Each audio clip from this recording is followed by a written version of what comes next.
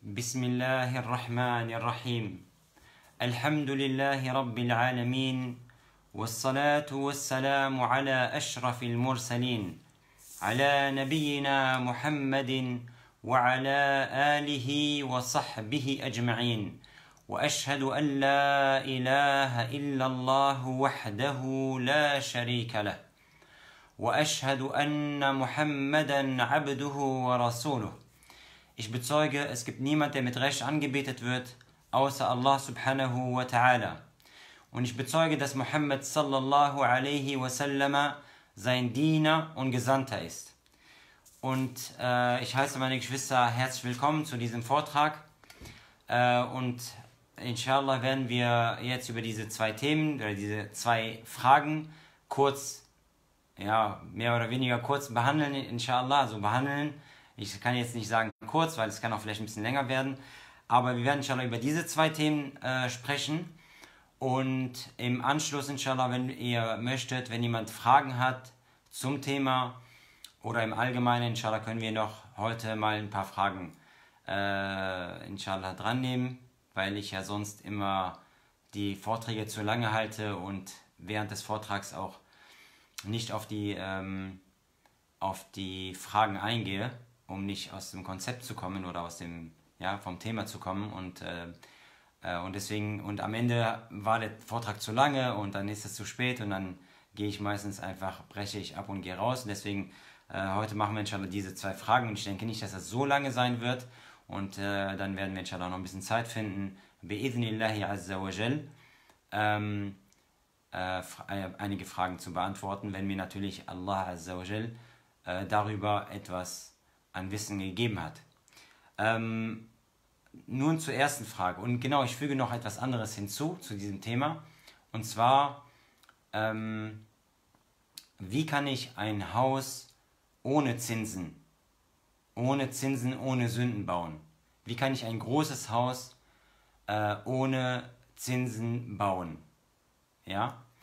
Ähm, also, das erste, was haben wir gesagt? Das erste ist, oder die erste Frage war, die wir behandeln wollten, äh, das Thema, ähm, bäm, bäm, ja, wie kann man, wie war das Thema nochmal? Ich kann es gerade auch nicht sehen, ich habe die Überschrift nicht vor mir. Ähm, darf man, darf, man, darf man Zinsen nehmen oder ein Haus mit Zinsen kaufen, wenn man in Europa lebt? Ähm, inshallah, liebe Geschwister, erstmal bevor ich auf diese Frage eingehe, sage ich etwas, inshallah, was allgemein ist. Allgemein ist. Äh, und zwar die Angelegenheit der Meinungsverschiedenheiten. Ja? Wir haben Meinungsverschiedenheiten im Islam in sehr, sehr vielen Dingen. Ja? Und das hat Allah subhanahu wa ta'ala so gemacht, ja, dass, die, dass es Meinungsverschiedenheiten geben wird. Denn alles, was Allah erschaffen hat, alles, was alles außer Allah wurde erschaffen, ist seine Schöpfung. Das heißt, auch die Meinungsverschiedenheiten wurden von ihm erschafft, erschaffen. Ja, wurden von ihm erschaffen und äh, mit einer Hikmah natürlich. Und Allah ist Al-Hakim, Al-Alim, er ist der Allwissende, er ist der Allweise, er weiß, was er macht und warum er es macht. Und alles, was er macht, ist vollkommen ja, und hat auch einen Sinn oder viele Weisheiten. Er hat eine Weisheit oder viele Weisheiten. Ganz gleich, ob wir diese Weisheiten erkennen oder nicht erkennen. Ja, weil oft erkennen wir selber diese Weisheiten nicht an. Äh, nicht, äh, wir erkennen sie nicht. Wir erkennen die Weisheiten manchmal, okay, Drogen sind schlecht, haram. Ja, okay, logisch. Ja, das, kann, das weiß jeder, das weiß ein, ein Analphabet, das weiß jeder. Andere Sachen wiederum äh, musste man erklären. Ja, warum äh, mehr Ehe erlaubt ist oder warum ähm, ja, äh, andere Sachen.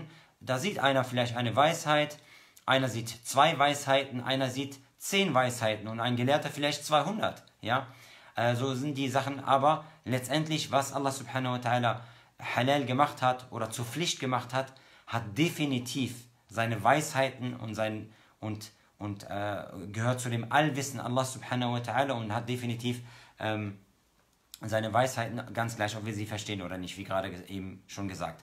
Ähm, aber liebe Geschwister, was wichtig ist, mein kleiner Bruder, ja, ähm, noch khairan. Also, aber was sehr, sehr wichtig ist, liebe Geschwister, zu wissen, ähm, dass die Meinungsverschiedenheiten im Islam, es gibt akzeptable, akzeptable Meinungsverschiedenheiten ohne Ende. Beispielsweise das Reisegebet. Ja? Mit wie, wann fängt das Reisegebet an? Fängt es mit nach 83, 84 Kilometern an? Fängt das an, wenn man die, die letzten Häuser seiner Stadt nicht mehr sieht und hinter sich gelassen hat? Mashallah. Ja, ähm, oder andere, ja, oder andere Meinungsverschiedenheiten. Äh, zum Beispiel, beispielsweise, ähm, was noch? Beispielsweise ein, ein anderes Beispiel, was vielleicht auch, äh, was man vielleicht auch gut erklären kann. Dass mein, die Meinungsverschiedenheit ähm, ist der Niqab, ja, die Ganzkörperverschleierung, ist sie Pflicht oder ist sie nur erwünscht und es ist Pflicht, alles zu bedecken außer Hand, außer Hände und Gesicht. Okay? Eine sehr, sehr große Meinungsverschiedenheit. Und diese Meinungsverschiedenheit, liebe Geschwister, ist eine Meinungsverschiedenheit, äh, die es gibt seit der, ja, seit der ersten Zeit des Islam. Salam wa barakatuh. MashaAllah, Ahl al-Jazair sind heute zahlreich dabei. Ja, also die Meinungsverschiedenheit, Barakallahu fikum, äh, Hijab oder Niqab. Absolut akzeptable Meinungsverschiedenheit. Absolut. Warum? Allah subhanahu wa ta'ala hat uns Verse herabgesandt, wie zum Beispiel in Surat al-Ahzab, ja, o Gesandter, o, ähm, äh, wo Allah subhanahu wa ta'ala zum, äh, zum Muhammad äh, gesagt hat oder ihm befohlen hat, sagt deinen Frauen und deinen Töchtern, deinen Gattinnen, deinen Töchtern und den gläubigen Frauen, sie sollen Jilbab über sich ziehen. Ja, an yudnina alayhinna min jalabibihin. Ja, ذلك أدنى أن يعرفن فلا يؤذين. Der Vers im Koran. Also es gibt diesen Vers. Dann gibt es diese Hadithe vom Prophet Muhammad die authentisch sind. Beispielsweise über die Frauen.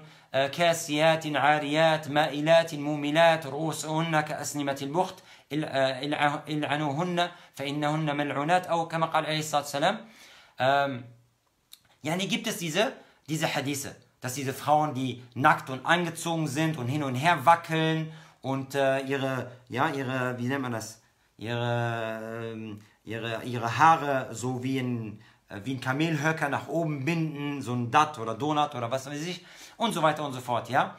Und wo, äh, äh, nein, ich habe das Ende von diesem Hadith, vielleicht gibt es auch diesen Hadith mit diesem Ende, ja, äh, dass sie verflucht sind, aber ich bin mir eigentlich nicht sicher, ich nehme das zurück, weil ich mir nicht sicher bin, aber der Hadith ist so, La yajinna riha al-jannah, äh, sie werden das, diese Frauen, die so sind, die sind nackt, aber angezogen.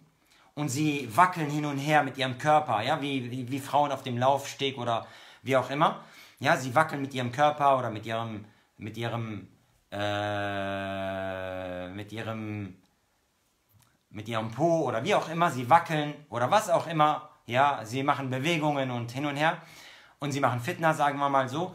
Und ähm, ähm, ja, und da sagte der Prophet Muhammad sie, diese Frauen, sie werden das, den Geruch vom Paradies nicht riechen. Nicht, die kommen nicht ins Paradies, die werden den Geruch vom Paradies nicht, nicht bekommen. Obwohl der Geruch zu riechen ist in einer Distanz von so und so viel, yani eine Reise von, ich weiß nicht, ob im Hadith erwähnt ist, sieben, nee, 500 Jahre oder ja, eine, eine sehr, sehr große Distanz. Du kannst den, den Geruch vom Paradies ja yani riechen, subhanallah.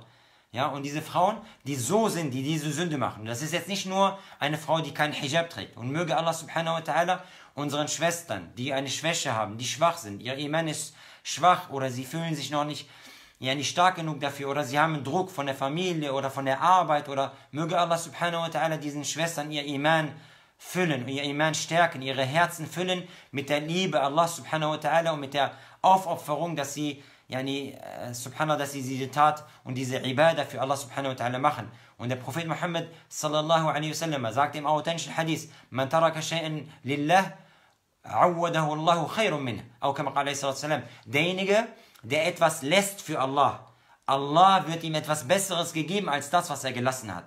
Ja, deine Arbeit zum Beispiel, du musst bei deiner Arbeit, sagen wir mal, Alkohol verkaufen, weil du eine Tankstelle kassierst oder irgendwo. Oder du bist eine anderen, du machst eine andere Sünde, du arbeitest irgendwo und das ist eine Sünde, du weißt, dass es haram ist. Ja, aber du hast einen Druck, weil du, die, weil du deine Rechnungen nicht zahlst, weil dieses und jenes und Allahu alim, jeder kennt, Allah kennt die Situation eines jeden. Ja, ähm, und du willst aber gerne, aber du hast diesen Druck etc. Wenn du das lässt für Allah, Allahs Gesandter Muhammad hat dir versprochen, Allah wird dir etwas Besseres geben. Und wallahi, liebe Geschwister, ich kenne Geschwister.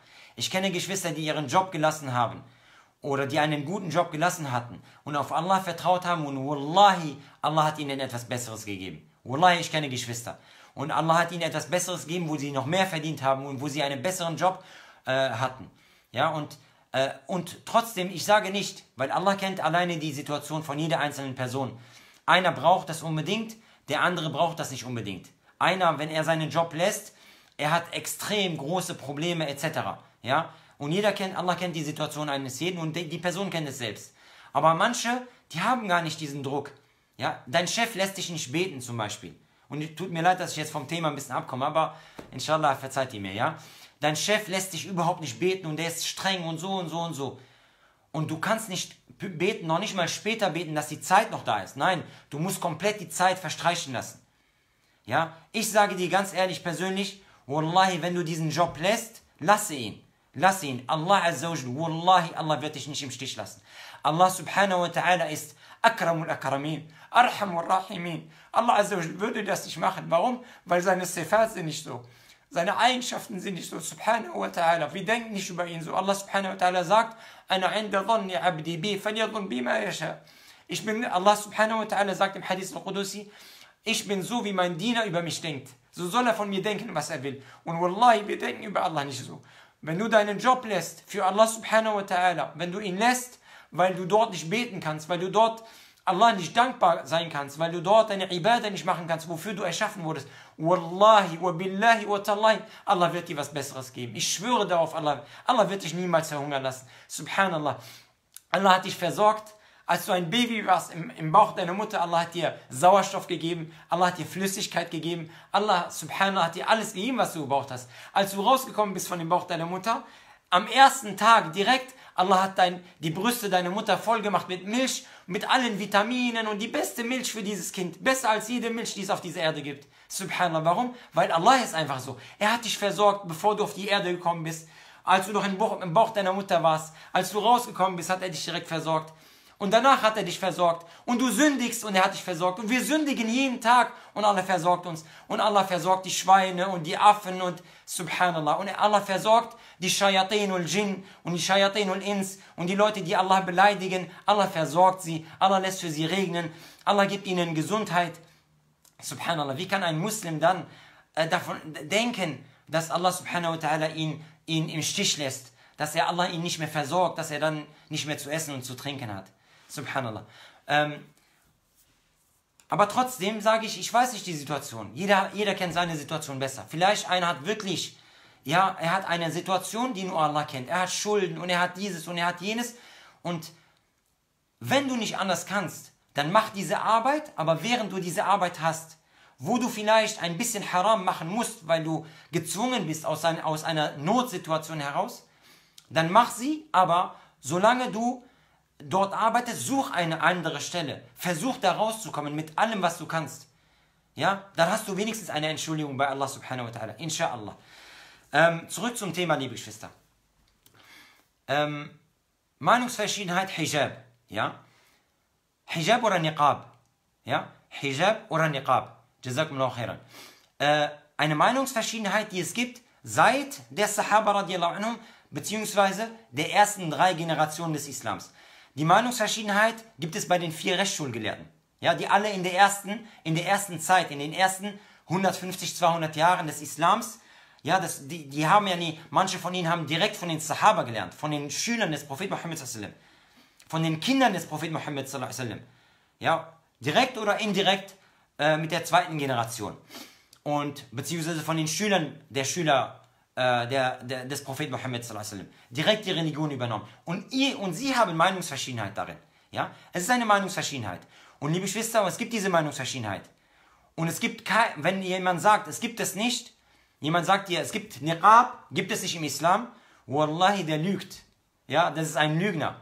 Entweder er ist einfach unwissend, er, hat eine Sache gesagt, dass er, was er nicht wusste, oder er lügt. Es gibt keine andere Meinung, weil es gibt Meinungsverschiedenheit von nie, seit je. Diese vier Rechtsschulen, Abu Hanifa, ja, Abu Hanifa und, und ähm, äh, Imam Malik, Imam Shafi'i, Imam Abu Ahmed, Imam Ahmed ibn Hanbal, diese, diese, diese vier Imame hatten schon Meinungsverschiedenheiten, in, was diese Sache an, anbetrifft. Muss man oder muss man als Frau sich bedecken, aber man kann sein Gesicht und seine Hände zeigen, ja? Oder muss man alles bedecken? Ja, das, diese Meinungsverschiedenheit gibt es schon immer. Und die ist absolut. Und beides hat Platz im Islam. Und beides ist sozusagen richtig. Und ich erkläre euch das ganz kurz. Ja, die, die Imame, die großen Gelehrten des Islam, haben sich diese Verse angeschaut, wie den Vers, den ich vorhin gesagt habe von Surat al-Ahzab und andere Verse im Koran über den Hijab. Ja, Verse im Koran und Hadithe des Propheten Muhammad sallallahu und was die Frauen des Propheten Muhammad gemacht haben und was er befohlen hat, was er verboten hat, etc. Diese Verse und diese Ayats, diese Verse und Ayats und diese Hadithe des Propheten Muhammad sallallahu kann man natürlich als Großgelehrter macht man Istimbat. Aus ihnen nimmt man ein Urteil heraus. Dieses Urteil kann ich nicht machen, ich bin nicht, dazu, dazu nicht äh, befugt, ich, hab, ich habe kein Wissen, ich bin so wie ihr, ganz normaler Muslim. Ja, wir sind alle ja, normale Muslime. Und äh, ich kann keine Urteile machen vom Islam, vom Koran oder Sunna, weil ich diese Stufe nicht erreicht habe, wir alle nicht. Ja, aber die Gelehrten machen das. Die Gelehrten verstehen diese Verse vom Koran und von der Sunna und sie haben das Wissen dazu. Ja, sie haben das Werkzeug dazu, die arabische Sprache, ein tiefes Wissen, was die arabische Sprache anbetrifft. Usul, ja, wo man die, wie man, wie man äh, Urteile herausnimmt aus den Beweisen. Und sie haben ein großes Wissen und sie kennen alle und sie nehmen sich alle Hadithe. Man kann, ich und du, wir würden, ich und ihr, wir würden eventuell, wenn wir hören, der Prophet Muhammad hat gesagt, ähm, äh, das und das ist haram, khalas ist haram. Ja, im Stinken, äh, wer, wer im Stinken, wer, wer im Stinken, wer im Trinken, wer im Stehen trinkt, okay, deswegen kommt das Wort äh, Stinken heraus, sorry. Äh, der Prophet Muhammad sagte ja nie, derjenige, der im Trinken, der im Stehen trinkt, ja, dass er besser seinen, seinen Finger äh, in den Hals, äh, wie soll man, wie sagt man, äh, ja, ich will, stecken soll, sodass er sich übergibt als dass man im, im Stehen trinkt. Okay, das, dieser Hadith würde eigentlich darauf deuten, dass es verboten ist, im, im Stehen zu trinken. Wenn wir den hören, würden wir sagen, Chalas, trinken ist verboten. Ja, vielleicht war das auch nicht jetzt die beste, das beste Beispiel, weil es gibt andere Beispiele, vielleicht jetzt äh, ist mir aber gerade so eingefallen, die klar und deutlich sind. Klarer und deutlicher sind. Aber dann hat der Prophet Muhammad sallallahu alaihi wasallam, aber im gleichen Augenblick hat er während, ich glaube, das war bei, bei Fath Mekka oder bei der Hajj, er hat im Stehen getrunken, vor allen Sahaba.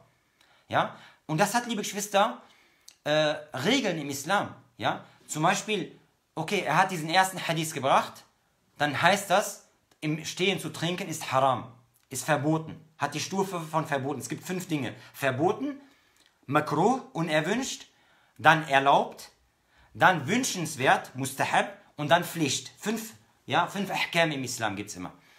Und, ähm, und dann, er hat eigentlich eine Sache gemacht, zu Haram erklärt. Danach hat er eine Tat gemacht, die dem widerspricht.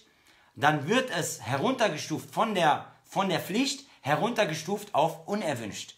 Ja? Und so haben das die Sahaba radiallahu anhu, wie im Hadith von äh, Ali ibn Abi Talib, ja, äh, radiallahu anhu, der hat im Stehen getrunken und der sagte, Wallahi, ich habe den Propheten Muhammad sallam, gesehen, wie er, im, wie er im Stehen getrunken hat. Ja, das heißt, es wurde dann runtergestuft. Es ist nicht mehr haram, es ist dann unerwünscht.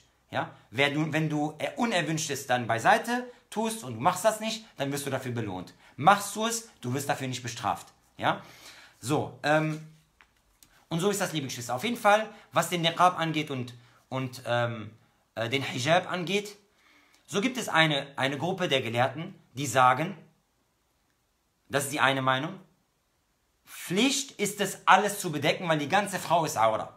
Ja, die ganze Frau ist Aura. Und das sie haben ihre Beweise von Koran und von der Sunna. Und somit, weil sie ihre Beweise haben, authentischen Beweise von Koran und Sunnah, ist ihre Meinung absolut akzeptabel. Ja? Absolut akzeptabel. Die anderen Gelehrten, sie sagen nein, von diesen, und ganz ehrlich, zum Beispiel auch bei diesem Thema Hijab oder Niqab, sie haben oft die gleichen Beweise. Den gleichen Vers kann man so oder so interpretieren. Auf beiden, yani, es ist, sag ich mal, es hat Platz für zwei, ähm, für zwei äh, Erläuterungen oder zwei ähm, Interpretationen. Und somit, und somit, liebe Geschwister, ähm, ist diese Meinung akzeptabel. Und sie haben den gleichen Beweis. Die nehmen den gleichen Beweis von Koran und manchmal auch die gleichen Beweise der Sunna.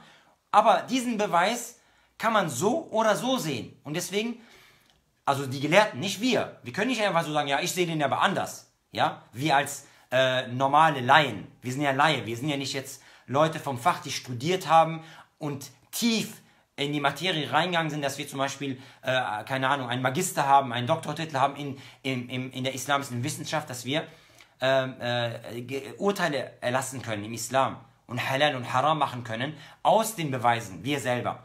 Ja? Und deswegen ist es eine, eine, das ist so wie in der Medizin. Das ist ein, ein Mediziner kann dann sagen, okay, es wird operiert, es wird nicht operiert. Und nicht eine Krankenschwester entscheidet das. Ja? Ich wäre vielleicht höchstens bestenfalls die Krankenschwester, in dem Sinne, ja, der Krankenpfleger. Und als Laie ist man gar nichts. Man ist dann vielleicht der, der, der Kranke nur, der dort ist. Oder, der, oder die Putzfrau vielleicht im Krankenhaus. Und deswegen, liebe, liebe Geschwister, ist das so, dass die, die, diese Meinungsverschiedenheit ist da. Die anderen Gelehrten, die sagen, nein, aus diesen Beweisen kann man herausnehmen, dass es nicht, dass es Pflicht ist für die Frau, alles zu bedecken, außer das Gesicht und die Hände. Ja, das muss man nicht bedecken.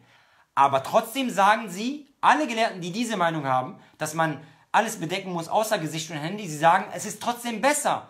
Und es ist von der Religion, den, den Niqab zu tragen. Das war, die, das war die Tracht und die Art und Weise, wie sich die Frauen des Propheten Mohammed ge gekleidet haben. Die Frauen des Propheten, die, die, äh, die Vorbilder all unserer Frauen haben sich so gekleidet. Und auch die Sahabiyats, ja, viele Sahabiyats oder die meisten Sahabiyats haben sich auch so gekleidet. Und somit ist es 100% von der Religion. Und wenn jemand sagt, nein, das gehört nicht zum Islam, er lügt. Entweder ist einfach ein, ohne, ja, ich meine das nicht böse, er ist ein Dummkopf, er ist ein Esel, er hat einfach keine Ahnung. Ja, ohne, ich meinte das jetzt nicht böse mit diesen, mit diesen Worten, aber es ist so, in diesem Zusammenhang, er hat einfach keine Ahnung von der Materie, von dem, was er redet, oder er ist einfach ein Jahil, absoluter Jahil, ja. Äh. Und diese Meinungsverschiedenheit ist akzeptabel, weil man wirklich, weil beide beide Parteien ihre, ihre, ihre Sicht vom Koran entnehmen und von der Sunna entnehmen. Ja? Doch, wir kommen gleich zu den Zinsen, ja? Wir kommen gleich zu den Zinsen. So, jetzt kommen wir zu den Zinsen, ja? Jetzt fragt der Bruder hier. Ja, das Thema ist doch Zinsen, ja? Ähm, das Thema Zinsen, liebe Geschwister, was das Thema Zinsen angeht, es gibt gar keine Meinungsverschiedenheit. Es gibt gar keine Meinungsverschiedenheit darin. Allah subhanahu wa ta'ala hat Zinsen verboten, Überall im Koran und überall in der Sunna des Propheten Muhammad Und zwar schlimmstens, strengstens verboten. Und es ist kein normales, kein normales Verbot, sondern es gehört zu den allergrößten Sünden im Islam. Allah subhanahu wa ta'ala sagt im Koran, in der zweiten Surah des Koran, ähm, Allah sagt äh, im, im, äh, im Koran, ähm, und wenn ihr es nicht, und wenn ihr nicht von den Zinsgeschäften ablässt, dann macht euch gefasst auf Krieg gegen Allah und seinen Gesandten. Ja? Wenn ihr nicht davon ablässt, wenn ihr nicht aufhört, Zinsen zu verschlingen, Zinsgeschäfte zu machen, dann macht euch gefasst auf Krieg. Gegen wen? Gegen Allah und seinen Gesandten Muhammad sallallahu alaihi wasallam. Ganz ehrlich, es würde reichen.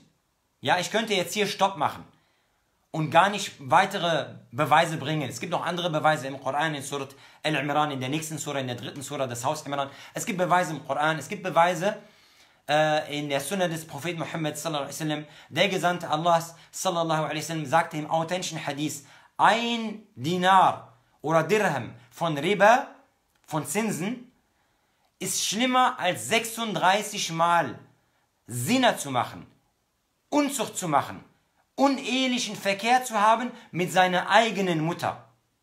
Ja, mit seinen eigenen Mutter. Die Sahaba radiallahu anhum, die größten Schüler des Propheten Muhammad und das war ein Hadith, ich könnte euch noch mehr Hadithe bringen, ja. Das war ein Hadith. Abdullah ibn Abbas radiallahu anhu, Turjuman al-Quran, der größte, wissendste Mann über den Koran nach dem Propheten Muhammad Der Prophet Muhammad hat für ihn Dua gemacht. Oh Allah, allimhu al-Ta'wil. Ja? Äh, oh Allah, bringe ihm äh, das Wissen bei über den Koran, über den Tafsir und den Ta'wil vom Koran, das Verständnis und, und das Verständnis des Korans. Er, er war der wissendste ja, Mann in dieser Umma, der wissendste Schüler des Propheten Muhammad was den Koran und den Tafsir von Koran angeht. Der Cousin des Propheten Muhammad Abdullah ibn Abbas radiallahu anhu. Er sagte, ja, und das war die, deren, das war die Schule des Propheten Muhammad ja, er sagte ihnen, derjenige, der Zinsen nimmt oder mit Zinsen handelt, am Tage der Auferstehung wird ihm gesagt, wird ihm ein Speer, ein Speer in die Hand gedrückt und er, es wird zu ihm gesagt, geh und kämpfe gegen Allah. Ja, liebe Geschwister, also es gibt, ja, und im Gegenzug dazu, ja, das ist die eine Meinung, lauter Verse des Korans, die deutlich, deutlich sind wie die Sonne im Himmel, dass Zinsen haram sind, und zwar schlimmstens haram, ja, auf übelste Art und Weise. Krieg. Du erklärst deinem Schöpfer und deinem Propheten Krieg, wenn du Zinsen verschlingst und mit Zinsen, ja, äh, äh, zu tun hast. Und es ist eine sehr, sehr schlimme Sache, liebe Geschwister, auch wirtschaftlich, auch äh, ähm, äh, wirtschaftlich und, und gesellschaftlich. Es macht die Leute kaputt, es macht die Wirtschaft kaputt. Es ist die Wirtschaftskrisen, die man hatte, die man hat, die noch kommen werden. Sie haben der größte Übel auf dieser Erde. Ja, und es ist eine Ungerechtigkeit. Aber wir kommen zurück zum Thema. Ja, was die Zinsen angeht, liebe Geschwister, es gibt keine Meinungsverschiedenheit. Es gibt keine andere Interpretation von diesen Versen und von den Hadithen des Propheten Muhammad. Es gibt keine zweite Meinung, die besagt, okay, es ist erlaubt. Ja, man kann diese Verse anders interpretieren. Es gibt keine Gelehrte, die sagen, äh, doch, es ist erlaubt, äh, es ist nicht erlaubt. Manche sagen, es ist erlaubt, manche sagen, es ist nicht. Nein, gibt es nicht. Wallahi, es gibt diese Meinung nicht. Alle Gelehrten des Islam, alle vier Rechtsschulgelehrten, es gibt einen Konsens aller Gelehrten, aller Sahaba, der Konsens der Sahaba radiallahu anhum. Ein Konsens aller Gelehrten, dass Zinsen und Zinsgeschäfte verboten sind und sogar zu den großen Sünden des Islam und zu den größten Sünden des, des Islam gehören. Okay? Ähm, und deswegen, liebe ich, es gibt diese Meinungsverschiedenheit gar nicht. Ja, gibt es nicht. Wenn, man, wenn einer von uns Zinsen verschlungen hat oder genommen hat, gemacht, yani, bekommen hat, was auch immer, mach Tauba. Sag Allah, oh Allah, ich habe ich habe Sünden gemacht, vergebe mir. Hast du ein Haus gekauft mit, mit Zinsen, du wusstest das nicht, oder vielleicht wusstest du das und du hast, du warst schwach, du wolltest gerne, wie auch immer, mach Tauba, bereue es. Sag, oh Allah, vergebe mir, bitte. Vergebe mir, Allah wird dir inshallah vergeben. Allah ist der Vergebende. Ja? Es ist eine große Sünde, aber egal was man macht als Mensch, egal welchen Fehler, egal wie schlimm der Fehler ist, die aller, allergrößten Sünden dieser Welt, Allah, wenn du aufrichtig bereust und um Vergebung bittest, dir wird inshallah vergeben. Allah subhanahu wa ta'ala hat das versprochen. Und niemand würde sein Versprechen eher halten als Allah subhanahu wa ta'ala. Ja? Ähm, also, und es gibt, liebe Geschwister, ganz kurz zu dem Thema Zinsen, es gibt viele verschiedene Modelle von Zinsen. Ja? Das aller, aller einfachste oder bekannteste, ich leihe dir 1000 Euro, gib mir 1500 Euro zurück. Ja? Das ist einfach ein Kredit und daraufhin gibt es 10%, 5,5%, 20% Zinsen. Ja? Das ist das, das, das, aber liebe Geschwister, es gibt nicht nur solche Arten von Zinsen. Es gibt viele, viele verschiedene Arten von Zinsen im Islam ja, die als Zinsgeschäft gesehen werden oder die der Prophet Muhammad verboten hat und gesagt hat, dass das Zinsen sind. deswegen, wenn man Geschäfte macht, muss man normalerweise sich vorher erkundigen. Ja? Ähm, ein Hadith, den ich auch bringen wollte in Bezug auf Zinsen, liebe Geschwister, ist, der Prophet Muhammad sagte, es wird eine Zeit kommen, da wird man sich vor den Zinsen nicht mehr schützen können, ähm, beziehungsweise es wird eine Zeit kommen, ich weiß jetzt gerade den genauen Metten. Metten ist der Inhalt vom Hadith, also ne, ohne Kette, ohne wer hat es überliefert, sondern was hat der Prophet Muhammad gesagt? Genau dieser Satz nennt man im Arabischen Metten. Äh, den, Metten, den genauen Metten habe ich jetzt vergessen, aber ungefähr, ungefähr ist, steht im Hadith, dass es eine Zeit kommen wird, dass man vom, von den Zinsen getroffen wird oder mit Zinsen zu tun haben wird, selbst wenn es nur der Staub der Zinsen, ja, der Staub, so steht es im Robar, Robar ist der Staub im Arabischen, ja, selbst wenn nur der Staub einen erreicht, ja, weil heute sagen ja, ich kann doch gar nichts mehr dafür. Ich brauche ein Konto, ich, ohne Konto kann ich keine Wohnung haben, keine Arbeit haben, keine Rechnungen zahlen, dies, das. Ich bin gezwungen. Und mit diesem Konto, das Konto ist bei einer Bank, diese Bank arbeitet mit Zinsen, dies, das, da ist mein Geld drauf, die nehmen das, die, ja. So, ganz, ganz wichtig, liebe Geschwister, in diesem Zusammenhang, ja, Sachen, die absolut notwendig sind im Islam, ja, die lebensnotwendig sind oder die sehr notwendig sind äh, oder wo man anders oder wenn man sie nicht hat, in Schwierigkeiten geraten könnte oder einen Schaden treffen würde, ja, diese Dinge, liebe Geschwister, sind Notsituationen oder sind äh, Situationen, die im Islam entschuldigt werden. Ja? Zum Beispiel diese Sache, Banken, heutzutage diese Konten, die wir haben, äh, für, für Geschäftsleute zum Beispiel ähm, äh, eine Kreditkarte zu haben, etc. Versicherungen, viele, viele Versicherungen, liebe Geschwister, wenn nicht alle, sind eigentlich nach dem islamischen Recht eigentlich haram, verboten. Ja, weil diese Versicherungen sehr, sehr viel mit, mit äh, äh, weil, ihr, weil das ganze System der Versicherung, wie es funktioniert, du zahlst eine Versicherung jedes Jahr 1000 Euro, 5000 Euro für dein, ja, für dein Auto zum Beispiel, du fährst einfach 20 Jahre unfallfrei. Du hast ihnen, ja, am Ende, ähm, ich be beantworte inshallah Fragen, aber nicht jetzt, ja, die sagen noch Herren. Äh, du bezahlst ihnen die ganze Zeit Geld, bis 20 Jahre unfallfrei gefahren, du hast ihnen Geld gegeben, sie haben dir im Gegenzug nichts gegeben, weil du hast ja gar keinen Unfall gemacht. Das ist im Islam ein Vertrag, der nicht gültig ist eigentlich. Ja? Warum? Weil du hast ihnen Geld gegeben für nichts. Für nichts, ja? Für eine Spekulation. Ja, das ist eine Spekulation. Wenn du einen Unfall baust, dann zahlen sie dir etwas zurück quasi. Wie viel zahlen sie dir zurück? Du hast 20.000 bezahlt, Vielleicht war dein Unfall nur ja, ein Kratzer, ein Opel Kadett von, äh, oder ein Opel Corsa, Kadett gibt es ja glaube ich gar nicht mehr, Opel Corsa Baujahr äh, 88, hat nur 300 Euro, 500 Euro gekostet. Du hast ihn aber 20.000 Euro in die Kasse gespielt. Ja? Und deswegen, liebe Geschwister, sind das so Sachen, äh, die im Islam nicht erlaubt sind. Ja? Da wird viel mit Spekulation äh, und am Ende des Tages, sie machen Milliarden und viele, viele Leute, die verschwenden ihr Geld. Ja? Und da könnte einer sagen, ja, aber was ist die Lösung? Wie soll man das machen? Ohne Versicherung fahren? Nein, man kann versichern, man kann, man könnte das machen, ja, aber es gibt für, für alles, was es auf dieser Erde gibt, gibt es eine Lösung mit dem islamischen Finanzrecht. Wallahi, es gibt eine Lösung dafür, ja. Und, ähm, und Lösungen, die für alle gerechter sind, ja. Heute, wie funktioniert diese Welt? Die Banken, die haben Milliarden, Wer sind die reichsten Leute der Welt?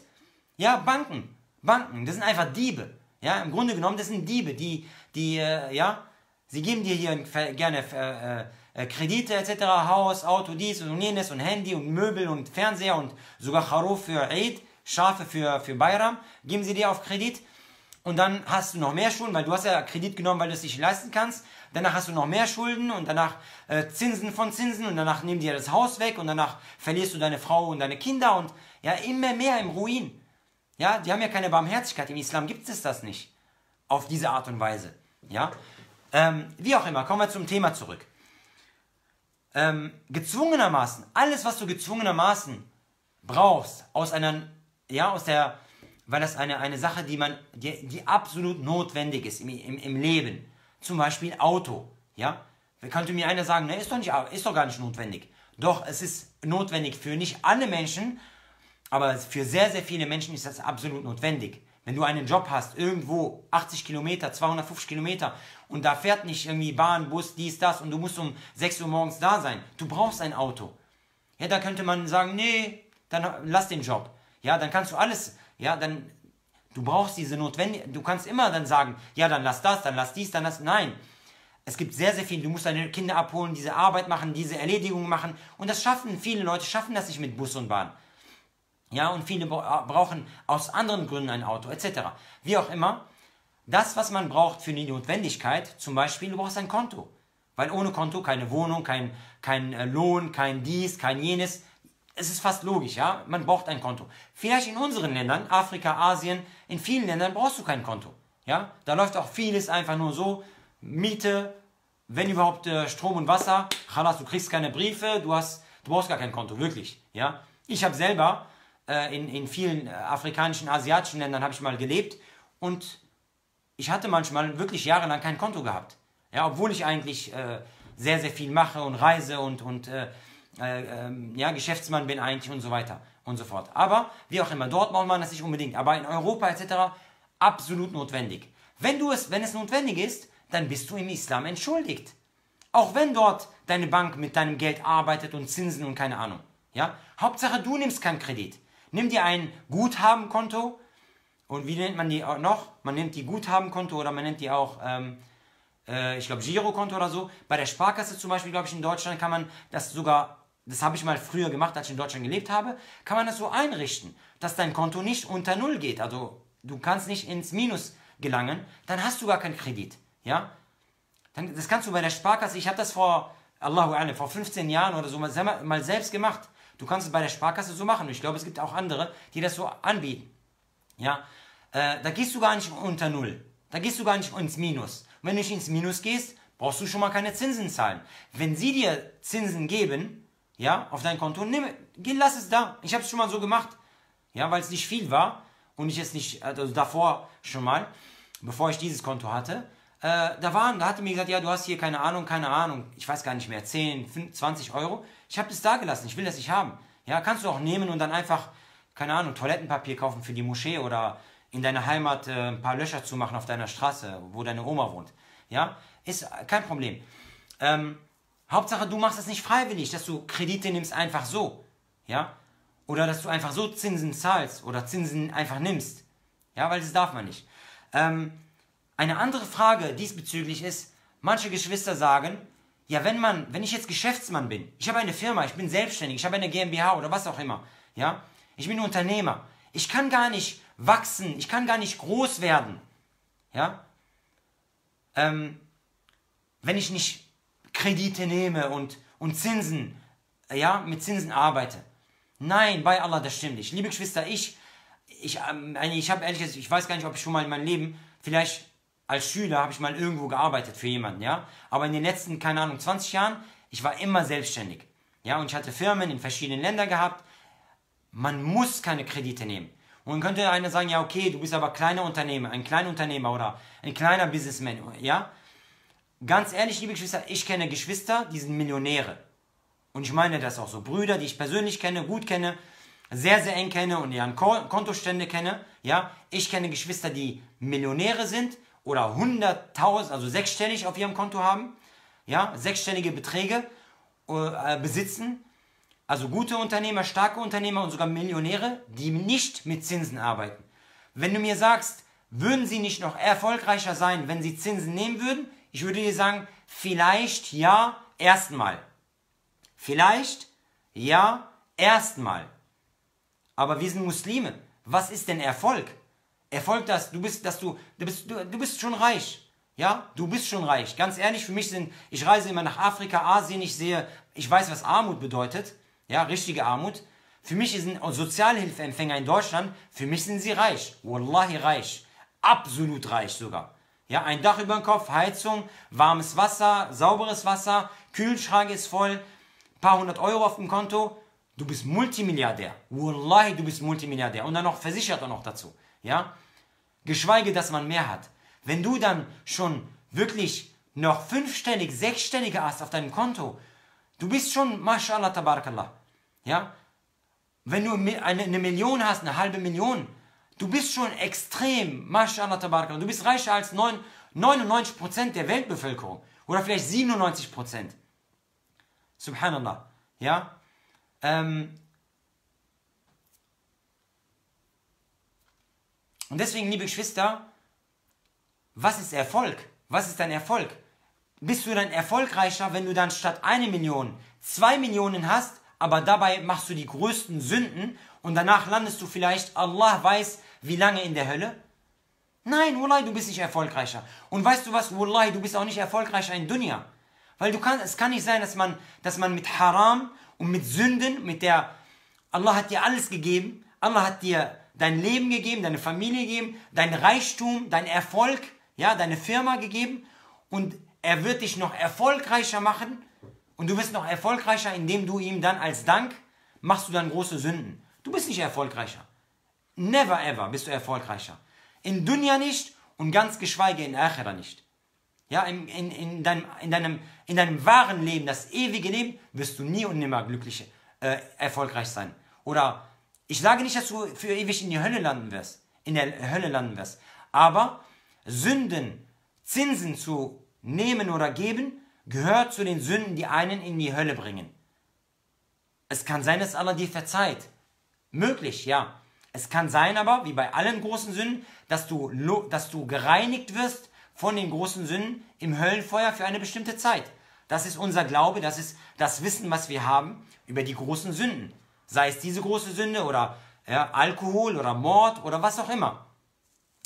Und deswegen, liebe Geschwister, nein, man wird nicht erfolgreicher oder wir wollen dieses erfolgreicher werden, nicht auf Kosten der Religion. Ganz ehrlich, also mir fallen wirklich ganz, ganz viele äh, Wege ein, extrem erfolgreich zu sein, ja, erfolgreich zu sein, Millionen zu machen, aber mit Haram. Also ich habe wirklich, ich, ich weiß, wie man, also es, es ist leicht. Es ist leicht mit verbotenen Dingen, und ich rede jetzt nicht über Drogen, aber es gibt ja, sei es Drogen oder viele andere Sachen, ich wüsste, wie man Geld macht, ja. Ich wüsste, wie man Geld macht auf verbotene Art und Weise. Und da gibt es viele Wege, ja, und ich glaube, viele von uns wissen das ja auch, ja. Äh, aber man kann ja nicht sagen, ja, okay, komm, wir, wir Muslime müssen ja auch erfolgreich sein. Wir sind erfolgreich an allererster Stelle, wenn wir aufrichtig sind, wenn wir wahrhaftig sind, wenn wir richtige Gläubige sind, wenn wir gottesfürchtig sind, wenn wir ja, wenn wir unsere Religion praktizieren, wenn wir islamischen Charakter haben, dann sind wir an allererster Stelle erfolgreich. Weil dann kommt sogar so Erfolg sowieso. Allah subhanahu wa ta'ala hat das sogar im Koran versprochen. لَيُمَكِّنَنَّ لَهُمْ دِينَهُمُ الَّذِي ارْتَضَى لَهُمْ وليبدلنهم من بعد خوفهم أمنا يعبدونني لا يشركون بي شيئا سبحان الله Allah hat das يعني يمكن التمكين التمكين mir fällt das Wort gerade gar nicht ein aber die, die totale, der totale Erfolg und die, äh, die Herrschaft, genau, die Herrschaft.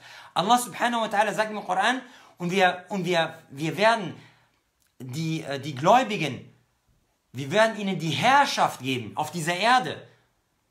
Aber mit, mit der Voraussetzung, dass sie beten und rechtschaffen sind und dass sie Allah alleine dienen und ihm nichts beigesellen. Ya'budunani la yushrikuna bi shay'a.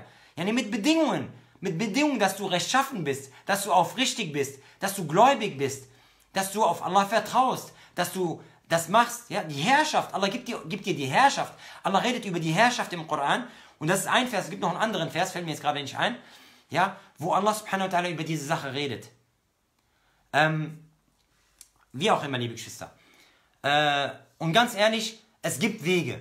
Vielleicht gibt es andere Wege mit Zinsen, dass du wirklich es einfacher hast. Ja? Einfach Kredit nehmen, drauf los, ja, du bist voll Zahlungs, äh, äh, Zahlungs, äh, du bist auf jeden Fall flüssig und du hast ein, ein ähm, ähm, wie nennt man das nochmal, eine Bonität, eine sehr große Bonität, ja, von 2 Millionen, 5 Millionen, jede Bank würde mit dir arbeiten, du kannst einfach, ja, Verträge schließen, etc. Wie auch immer, liebe Geschwister. Wir kommen, inshallah, äh, äh, zum nächsten Thema.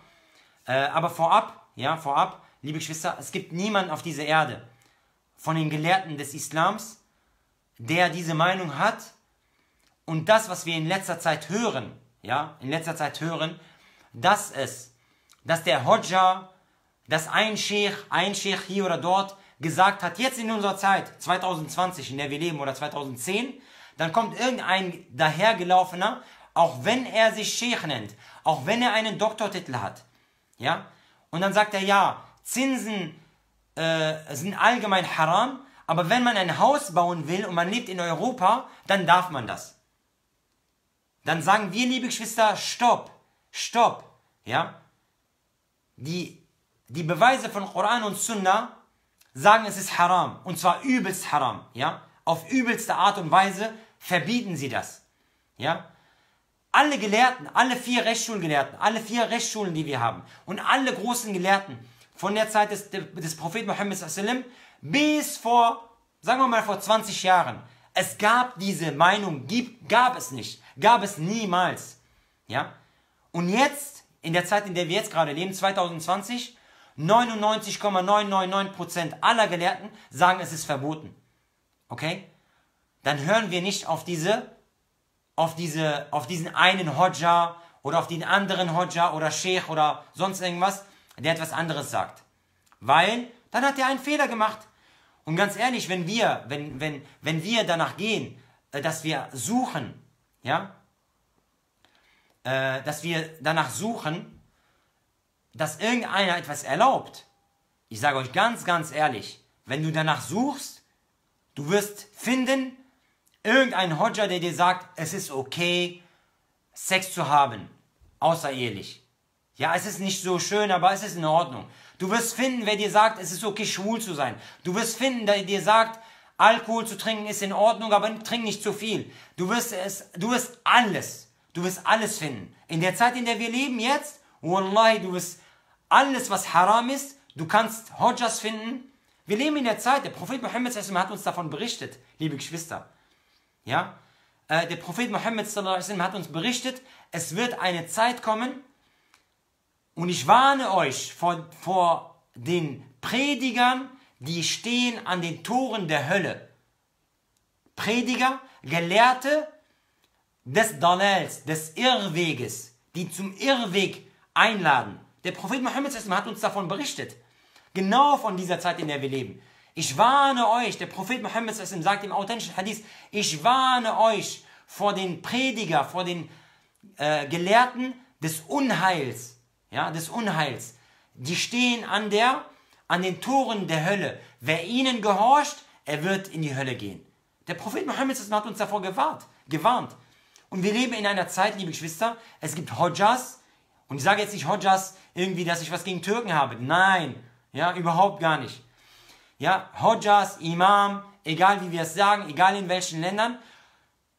Du wirst heute Imame finden, Hodjas finden, ja, Leute, die sich, die haben vielleicht sogar einen Doktortitel haben, ähm, die vielleicht Islam studiert haben, die dir Sachen, Entschuldigung, halal machen, halal erklären. Weil sie sind Hodja und sie sind Imam wegen des Geldes, wegen des Lohns. Sie sind es nicht wegen, ja, weil sie ähm, als, als, äh, weil sie danach trachten. Ja, seht ihr jetzt meine, meine Katze hier? Die will vielleicht jetzt auch Vortrag hören. Schau mal. Wie findet ihr die? Ist in Ordnung? Geht durch? Subhanallah. Schau mal, was für eine Schöpfung von Allah subhanahu wa ta'ala, ja? Der hat noch einen Zwillingsbruder sogar. Ähm ich glaube, der hat Hunger, ja? Auf jeden Fall, ähm, in der Zeit, in der wir leben, liebe Geschwister, man findet einfach alles. Ja, man findet einfach alles. Und man wird auch finden, man wird einfach, man wird auch finden, ähm, äh, Leute, die dir alles halal machen. Ja? Alles, was haram ist, wirst du finden. Und deswegen, liebe Geschwister, das zählt aber nicht. Weil wenn du danach gehst, derjenige, der den Fehlern der Gelehrten, Fehlern der Prediger folgt, Tazandak. Khalas, der, für, für den, der hat keine, er hat keine Religion mehr. Ja? Jemand, der nur danach, du wirst, äh, du wirst tausende Ausrutscher und Fehler finden der Gelehrten, weil die Gelehrten sind ja nicht fehlerfrei, sind ja auch nur Menschen. Ja, die haben sehr, sehr viel Gutes, aber sie haben auch Fehler. Und deswegen, liebe Geschwister, Barakallahu fikum, äh, gehen wir nicht nach dieser Meinung. Ja, wir folgen nicht dieser, dieser Meinung äh, von, den, von denen, die mal hier oder da einen Fehler gemacht haben. Und ähm, Jazakumullahu khairan und Barakallahu fikum. Und man kann, Wallahi, man kann auch erfolgreich sein. Und ich kenne, wie gesagt, ich kenne Wallahi persönlich Brüder, sehr, sehr eng mit denen. Ja, und manche von ihnen, ich weiß ganz genau, was sie sogar auf dem Konto haben oder wie viel sie besitzen. Ja, sehr, sehr enge Brüder und Freunde in verschiedenen Ländern sogar, die wirklich sehr, sehr erfolgreich sind. Und ohne Zinsen zu nehmen und ohne Kredite. Ja, und deswegen ist es, ist, es kein, ist es kein Argument. Und das würde es auch nicht halal machen. Ja, es würde es auch nicht halal machen. Dass du sagst, ja, aber sonst können wir Muslime, sind wir immer klein. Nein, sind wir nicht immer klein. Ja, lieber mit dem Segen, Allah subhanahu wa ta'ala, mit der Baraka, als mit den Sünden, ja, äh, als mit den Sünden größer zu werden. So, äh, ganz, ganz kurz zum zweiten Thema. Was habe ich als zweites Thema als eigentlich angekündigt? Genau, wir kommen zum zweiten Thema. Und das zweite Thema war, äh, ganz kurz, ganz kurz, bevor wir zum zweiten Thema kommen. Ich gebe euch aber ein, ein ein super Tipp, mashallah. Sind ja gerade, viele sind gerade online live hier. Mashallah, knapp 200 Leute, 104, 194 Leute sind gerade live. Ich gebe euch einen ein, ein super Ratschlag. Ja? Ein super Ratschlag. Wie kann ich ein Haus kaufen? Wie kann ich ein Haus bauen? Und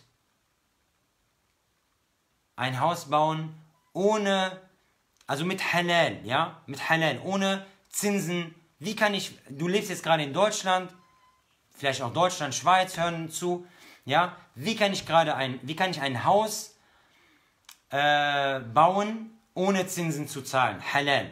Ich gebe euch einen Ratschlag. Der Prophet Mohammed, zwei Ratschläge sogar, zwei, ja, drei, okay, drei. Der Prophet Muhammad sallallahu alaihi wasallam sagte im authentischen Hadith, Man bana lillahi masjidan, bana Allahu lahu bihi baytan fil Jannah. Allahs Gesandter sallam, hat gesagt, derjenige, der für, für Allah ein Haus baut, eine Moschee baut, dem wird Allah ein Haus bauen im Paradies.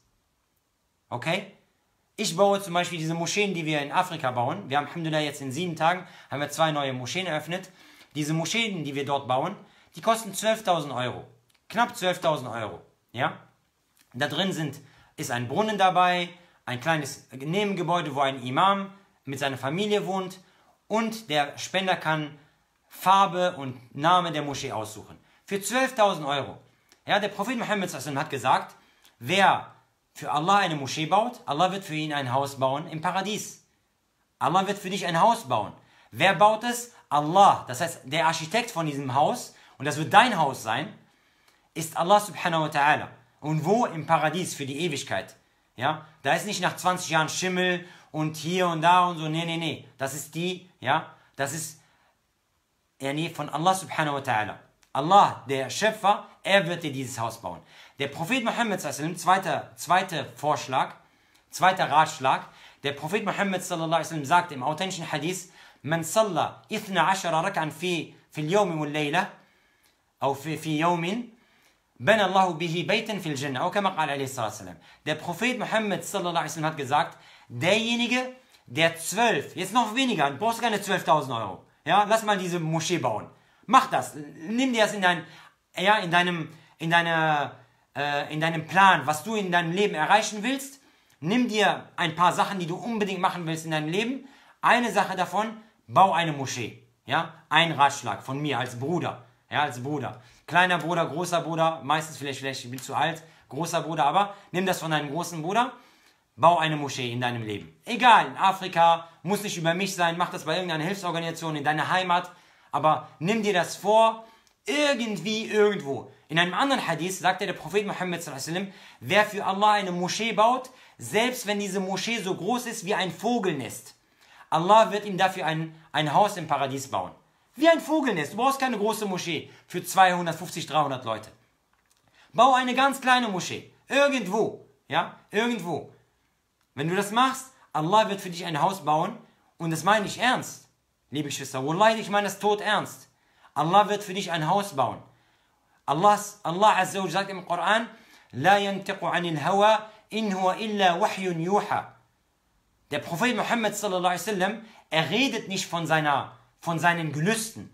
Das, was er sagt, ist Offenbarung von Allah. Allah sagt das im Koran. Das sind nicht seine Worte, das ist Offenbarung. Wallahi, bei Allah, Allah wird dir ein Haus bauen im Paradies. Wenn du ein Haus baust, egal wie groß es ist, für Allah subhanahu wa ta'ala. Der zweite Ratschlag, noch viel, viel einfacher, viel, viel günstiger. Dafür brauchst du 0,0 Euro. Der Prophet Muhammad sallam, sagte, derjenige, der zwölf, zwölf Raka'a betet, zwölf Gebetseinheiten betet am Tag, Allah wird für ihn ein Haus bauen im Paradies. Zwei vor dem Morgengebet, vier vor dem, ja, dann haben wir sechs, vier vor dem Mittaggebet, zwei nach dem Mittaggebet, zwei nach dem Maghrib, Abendgebet und zwei nach dem Isha, nach dem Nachtgebet.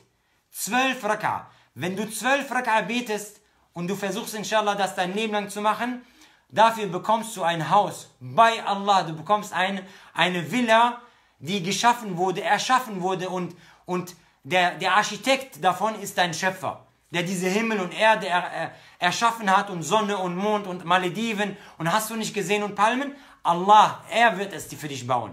Ein Haus im Paradies für die Ewigkeit. Sunan Rawatib, ganz einfach, du betest diese zwölf Rak'a. Subhanallah.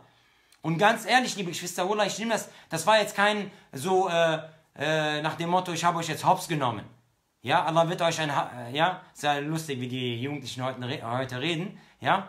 Äh, ich habe euch jetzt so reingelegt und äh, ich meine das im Ernst. Wenn du ein Haus haben willst und dieses Haus ist für die Ewigkeit und dieses Haus ist das wunderschönste Haus, was du, das können wir uns ja gar nicht vorstellen. Ja, das können wir uns ja gar nicht vorstellen. Aber das ist wahr. Wallahi, es ist wahr. Ja, die Sunna, die Sunna-Gebete meine ich, ganz genau. Die zwölf Sunna-Gebete, die wir beten am Tag, die freiwilligen Gebete, diese zwölf, die wir beten, wenn du die betest und, äh, und äh, kontinuierlich betest, du bekommst wirklich dafür ein gewaltiges, wunderschönes Haus im Paradies für alle Ewigkeit. Okay? Ähm, und deswegen sollte man das machen. Und dieses Haus bleibt auch. Und das andere, liebe Geschwister, manche Leute sagen, ja, aber schau mal, wenn ich ein Haus kaufe, wenn ich, ich bezahle immer Miete und diese Miete, die ich bezahle, die ist einfach weg. Ich könnte auch die gleiche Summe zahlen und irgendwann gehört das Haus mir und dann sind wir, sind wir Muslime auch, auch viel äh, äh, äh, ja, stärker. Quatsch, Wallah Quatsch, was für ein Quatsch. Ja, also ich sage euch mal, ich zahle hier für mein Haus, ich zahle so, was zahle ich hier, 1500 1600 Euro oder so im Monat, ja, für das Haus, wo ich jetzt gerade lebe, äh, in dem Haus, in dem ich gerade lebe, ich zahle 1500 Euro oder so, 1000, keine Ahnung, 1600 Euro ungefähr. Und ganz ehrlich, seitdem ich, äh, seitdem ich äh, erwachsen bin, zahle ich immer Miete, ja, immer Miete. Ich habe immer zur Miete gelebt und in Deutschland auch, wir haben immer, meine, meine Mutter hat, glaube ich, seit 20 Jahren oder hatte 20 Jahre lang oder über 20 Jahre ein Haus, da haben wir auch über 1000 Euro Miete bezahlt ich bin nicht doof, wir sind nicht dumm, ja, ich bin auch Geschäftsmann, auch, auch wenn ich ein kleiner bin. Ich weiß ganz genau, ja, ich könnte, ich hätte schon längst abbezahlt. Diese 20 Jahre, wir hätten schon längst abbezahlt, das Haus wäre uns. Aber ich hätte es machen müssen mit Zinsen, ja. Es wäre einfach gewesen, es wäre schon abbezahlt gewesen. Ich wäre, wir, wir Muslime wären nicht mächtiger. Diese, diese paar Muslime, die da leben in Deutschland, diese Minderheit, ja, wir kriegen ja, subhanallah, wir wären mächtiger, wir, hätten wir was zu kamellen, wenn wir jetzt, äh, wenn, keine Ahnung, ein paar Prozent von uns äh, äh, Eigentum hätten. Und wann hast du Eigentum? Ja, bis du abbezahlt hast, bist du schon längst unter der Erde. Ja, das so, wie, wie lange zahlt man denn so ein Haus ab? 20, 30, 35 Jahre. Ja, bist du von, ja, wenn du anfängst, bist du, bist du vielleicht 30, bis du, bis du abbezahlt hast, bist du schon längst unter der Erde und dann gehört das einfach deine, deine Kinder, die, die schlagen sich dann um das Haus. Ja, wie auch immer, möge Allah bewahren, auf jeden Fall. Ähm, ganz ehrlich, es gibt im Islam Islamic Banking, ja, und es gibt eine Möglichkeit, um, um Häuser zu kaufen. Und ich sage euch auch eine Sache in Deutschland. Ich kenne Freunde und Brüder persönlich, sehr, sehr gut, die ich kenne, mit denen ich aufgewachsen bin oder sehr, sehr viel engen Kontakt hatte, die entweder Häuser oder sogar eine Firma, ein Geschäft gekauft haben von dem Besitzer, von dem Besitzer und die haben mit ihm einen Vertrag gemacht ohne eine Bank und ohne Zinsen. Kenne ich persönlich ja, wo ich aufgewachsen bin in Bonn-Köln, ja. Und meine Mutter hatte mal ein Haus gehabt in Troisdorf. Der Besitzer hat es uns auch mal ähm, äh, vorgeschlagen oder wir haben mit ihm verhandelt und er war auch eigentlich damit einverstanden, ja, mit einem Mietkauf oder mit einem Kauf ohne Bank und ohne einfach nur beim Notar unterschrieben, ihr zahlt so und so viel als Anzahlung und so und so viel monatlich. Das gibt es. Es gibt Leute, und ich hatte selber mal ein, ein, äh, ein Gespräch gehabt mit einem, äh, äh das war mal so ein, so ein großes Gebäude, Besitzer, drei deutsche alte, alte Männer, die mir ihr Haus mit unten Restaurant und so verkaufen wollten, vor einigen Jahren, das ist nicht lange her, vielleicht drei, vier Jahren erst, die mir das verkaufen wollten. Und bei Allah, wir, das war schon fast, wir haben schon fast, wir waren, saßen schon fast beim Notar. Ja, Allah hat es anders geschrieben. Sie haben ein Angebot bekommen von der Stadt, äh, dass die Stadt es ihnen abkauft und direkt und deswegen ist es geplatzt. Aber es gibt diese Leute, es gibt diese Privatleute, die das wirklich auch eventuell machen. Und es gibt diese Halal Banking, es gibt Banken, die ähm, äh, islamische Banken, also zum Beispiel jetzt in England gibt es Ar-Rayyan Bank oder andere Banken, die Islamic Banking anbieten. Es gibt auch in Deutschland diese Allahu Alam KT Bank oder Kuwaiti Bank, in der Türkei Kuwaiti Bank. Äh, manche von ihnen bieten das an. Ich sage euch eins, viele von diesen Banken bieten Zins oder haben Modelle, sie nennen es anders, aber es sind Zinsgeschäfte und es ist haram. Ja? Ich sage es euch nur. Es kann sein, dass sie das eine oder andere System haben oder ein Angebot haben, was halal ist, islamkonform ist. Dass du eventuell dein Haus oder dein Grundstück oder deine, deine Firma kaufst, ja, mit einem, mit einem äh, Konzept, was halal ist. Kann sein, definitiv. Aber ich sage euch ganz, ganz ehrlich, ich weiß das.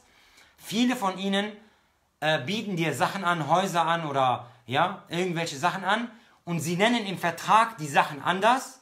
Sie sagen dann, äh, ja, das ist ein Gebühren, eine Gebühr oder ein, äh, ja, sie nennen die Sachen anders, aber es sind Zinsen. Ja, wenn du es mit dem islamischen Recht, mit dem islamischen Scharia, mit den islamischen Gesetzen, was das, äh, die, äh, ähm, äh, das islamische Finanzrecht, wenn du das durch, durch äh, äh, wenn du das ähm, kontrollierst oder wie auch immer, dann wirst du sehen, in 100% sind das Zinsgeschäfte. Deswegen nicht darauf vertrauen, dass sie Kuwaiti Bank heißen oder Islamische Bank sich nennen oder sonst irgendwas, ja? Also aufpassen. Ich sage nur aufpassen. Ich sage nicht, alles ist haram bei denen.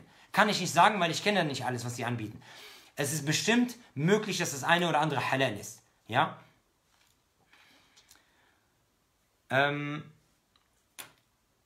und natürlich ist es absoluter Schwachsinn, liebe Geschwister, dass man sagt, ja, damals war es haram, aber heute ist es halal. Absolut unislamisch. Okay? Ähm, okay, kommen wir inshallah zum zweiten Thema. Ja? Und ich sage euch ehrlich, liebe Geschwister, ähm, ich kenne persönlich viele Leute, die in Marokko, ich habe in Marokko fünf Jahre gelebt oder so, Marokko, Algerien, da so, wo ich herkomme, meine Heimat. Ich habe auch in anderen arabischen Ländern äh, gelebt in meinem Leben mehrere Jahre. Ähm, ich kenne Leute persönlich, sehr, sehr gut sogar, die so viele Probleme haben in Erbfällen. Und das kann euch jeder, ja, äh, das kann euch jeder Sheikh ähm, oder Imam Hodja bestätigen, ja. Es gibt Leute, die haben so viele Probleme. Die Eltern sind gestorben, haben vielleicht ein, zwei, drei Häuser hinterlassen, aber die Kinder sind sich uneinig. Ja, und da gibt es unsere, in unseren Ländern Gesetze, die überhaupt gar nicht produktiv sind oder, oder ja, absolut sogar kontraproduktiv sind. Die sagen, okay, alle Erben, die Geschwister, die Kinder, die zwei Frauen, die er hatte, oder die, ja, die, und die, keine Ahnung, und die Mutter, und hast du nicht gesehen, die müssen alle unterschreiben und dann wird das Haus verkauft und verteilt. Aber sie sind sich nicht einig, ja.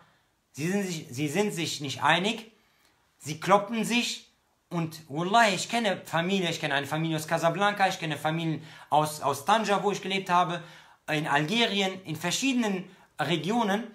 Sie haben Besitz, sie haben Häuser im sechs- und manche von ihnen sogar im siebenstelligen Bereich. Ja, also eine halbe Million und manche sogar im Millionenbereich. Und ich denke, vielleicht kennt ihr vielleicht einige von diesen Familien auch in eurer Heimat.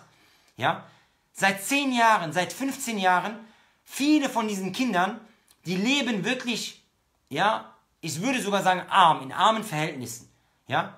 Sie können sich noch nicht mal eine eigene Wohnung leisten. Sie leben noch bei der Mutter, aber eigentlich besitzen sie viel. Sie besitzen, er selber, eine Person von ihnen besitzt eigentlich 200.000 Euro. Aber in seiner Tasche ist einfach null. Warum? Sie sind sich nicht einig. Sie haben Streit miteinander. Nein, mein Vater wollte, dass ich das meiste kriege und der und dies und das und die Mutter so und äh, die zweite Frau, keine Ahnung. Immer diese Stories, ja. Sie haben so viel, so viel Unheil, so viel, da ist gar kein Segen da drin, ja. Und ganz ehrlich, ich lebe in Miete, ich lebe mit dieser Miete, ich zahle so viel Miete, rausgeschmissenes Geld, wenn man so will, aber ich sehe das nicht so, ich lebe gemütlich, ich habe einen riesen Garten, dieses und jenes, Alhamdulillah, ich bin glücklich. Ganz ehrlich, ich brauche kein Haus, ich habe nichts dagegen. Ich habe nichts dagegen, eine fette Villa zu haben mit Swimmingpool und Sauna und, und hast du nicht gesehen, ja? Wer hat was dagegen? Aber muss nicht sein. Wenn ich es habe, wenn Allah es mir gegeben hat, Alhamdulillah. Wenn es mir Allah nicht gegeben hat, Alhamdulillah, das, was ich habe, dieses Haus, was ich mir leisten kann, hey, ich bin Multimilliardär, Mann. Ja, es gibt Leute, die leben in Zelten. Es gibt Geschwister, die leben in, die haben einfach gar nichts. Subhanallah. Ja, dann, ich bin glücklich so. Auch wenn ich zur Miete lebe und ja, der Monat ist schnell um, so viel Geld muss man aufbringen, allein für die Miete, ist halt einfach so, ist egal. Aber Alhamdulillah, ich bin zufrieden damit. Und mein Bruder hat so ein Haus und der bezahlt so viel Miete, meine Schwester und hast du nicht gesehen und wir alle. Ja und? Ich muss kein Eigentum haben hier auf dieser Erde. Ich werde sowieso bald sterben und wir werden alle bald sterben. Wenn ich es mir leisten kann, okay. Wenn ich es mir nicht leisten kann, dann nicht. Ist auch nicht schlimm. Ja, ich muss kein Eigentum haben. Und ich muss kein Eigentum haben, um, um, um Erfolg, erfolgreich zu sein. So ein Schwachsinn, wallahi. Ja? Ähm, oder um glücklich zu sein. Muss man gar nicht. Oder jetzt, was man denkt, ja, wenn ich das nicht, äh, äh, wenn ich äh, kein Eigentum kaufe und kein Haus, was soll aus meinen Kindern werden? Und es ist so schwer heutzutage. Nein! Du bist doch nicht der Versorger, subhanallah. Allah sagt im Koran, nahnu narzuqukum wa iyyahum. Allah sagt, wir, also Allah sagt, ich versorge euch und eure Kinder. Allah hat dich doch versorgt. Allah hat deine Eltern versorgt. Allah hat alle Menschen versorgt, die, die von Adam gelebt haben bis jetzt. Glaubst du, Allah wird deine Kinder im Stich lassen? Wie schlecht denkst du über Allah eigentlich? Allah versorgt doch Schweine und Affen und seine Feinde. Wie schlecht, wie, wie klein, ja, was für ein kleines Gehirn muss man haben, dass man so über Allah denkt. Ja? Allah versorgt doch die, die, die Würmer, die unter der Erde sind. Allah hat die nicht vergessen. Und die, keine Ahnung, die Fische, die kilometerweit unter der Erde sind. Warum sollte er deine süßen Kinder, subhanallah, äh, äh nicht versorgen? Und deswegen, liebe Geschwister, nein, lass das einfach. Oder wenn du es dir lassen kannst, ja, und liebe Geschwister, noch eine, eine, eine Sache dazu. Wir leben ja in dieser Scheinwelt, ja, und ich werde euch alle darüber mal einen Vortrag machen. Wir leben in dieser Scheinwelt. Wir wollen ja immer zeigen, dass wir das und das besitzen. Es gibt Hadithe vom Prophet Muhammad, es ist verboten. Es ist verboten anzugeben mit Sachen, die einem nicht gehören. Ja, wo du keinen Besitz hast. Heutzutage, das Auto ist gemietet und geleast. Das Haus ist äh, auf Pump.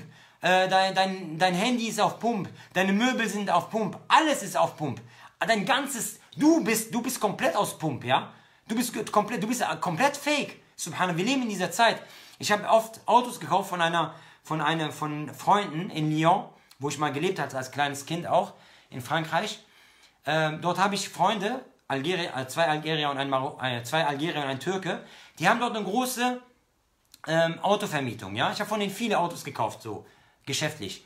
Und Subhanallah, die haben, mir, die haben so wirklich auch große Karossen gehabt, also ne, Luxuskarossen, C, äh, CLS 63 AMG und wirklich so fette Autos, ja. Ähm, und die haben die vermietet und die sagen zu mir, Ibrahim, äh, mein Name ist ja Ibrahim, ne, nur mal so nebenbei. Sie sagen mir, Ibrahim, Wallahi, von unseren Kunden, erstens, unsere Kunden sind fast nur, nur Ausländer, nur Muslime, Araber und Türken. Und so viele von denen, die haben ein Schrottauto oder sogar manche von denen gar kein Auto. Ja, das ganze Jahr, die schuften, schuften. Und dann, und dann mieten sie bei uns ein, diese fetten Autos, ja. Die mieten so ein Auto für 4.500 Euro. Ja? Für drei oder vier Wochen. Damit sie dann in die Heimat gehen, Marokko oder Tunesien. Algerien war verboten, wegen der Versicherung ging das nicht. Ja? Marokko oder Tunesien. Sie gehen dann in die Heimat, ja, und lassen dann, ne, für 4.500 Euro, das ist nur die Miete. Ohne Tankgeld, ohne Fähre, ja, übers, das Meer überqueren, ohne gar nichts. Sie haben noch keinen, noch keinen, äh, sich noch keinen Burger reingezogen, noch keinen Shake getrunken in der Heimat, ja, noch keinen Simmen oder äh, keine Ahnung was, gar nichts, ja. Das ist nur 4.500 Euro, nur die Miete, damit er dorthin geht und zeigt, ich bin der Fette hier, ich habe ich hab die Millionen geknackt, ja. Ich bin es. Damit er dort angibt, subhanallah. Was für, das ist verboten im Islam, liebe Geschwister. Ja? Das ist verboten im Islam. Das machen, das machen alle, liebe Geschwister, ja? Und das ist verboten im Islam. Yani allgemein anzugeben mit dem, was dir